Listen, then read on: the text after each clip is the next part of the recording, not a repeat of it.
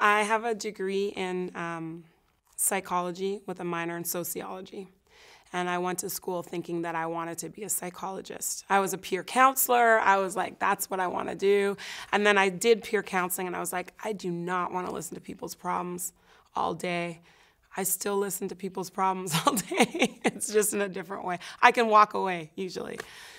Uh, but yeah, I wanted to be a, I wanted to be a psychologist, and so that's what I studied. And so I have a bachelor's in that.